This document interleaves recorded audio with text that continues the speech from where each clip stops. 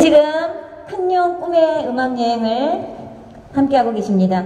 계속해서 이어지는 무대는요, 여섯 가락에서 또 오셨네요. 지영도님이 부릅니다. 덕수궁 돌담길.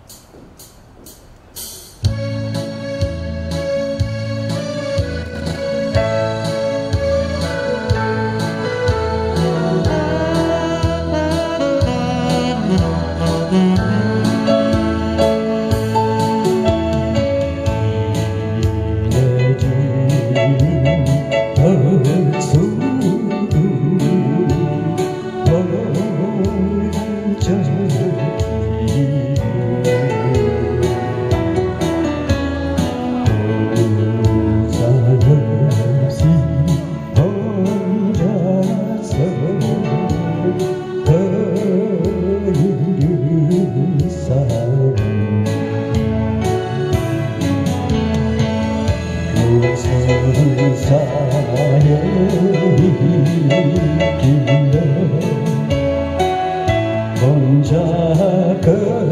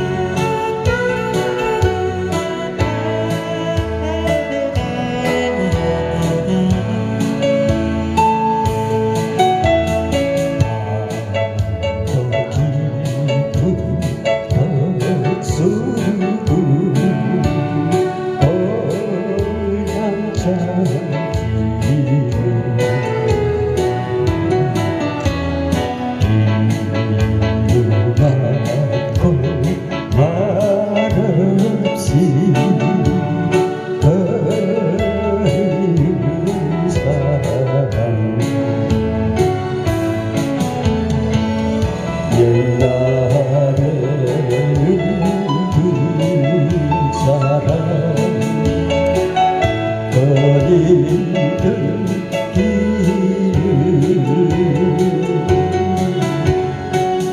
지금